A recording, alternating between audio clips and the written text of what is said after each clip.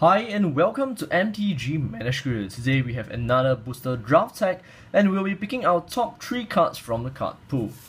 So let's see what we have for today. And first up we have our Font of Fertility, Rotted Hulk,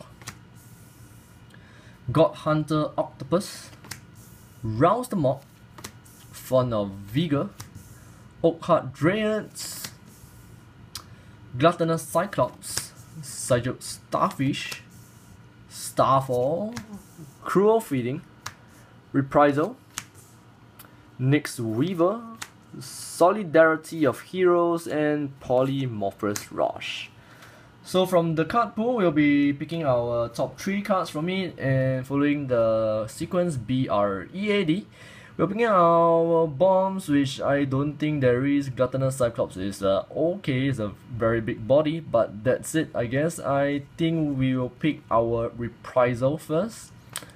Removal card. And next up, we will pick Gluttonous Cyclops or Oakheart Dryads. I think Gluttonous Cyclops should be the correct pick here.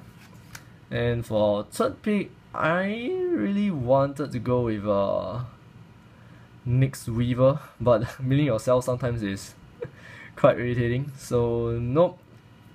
And Sigiled Starfish is a really good card as well. Being have having the ability to scry every single turn is really really awesome, but it's not really a very good creature on the board when you have nothing in your deck to work with.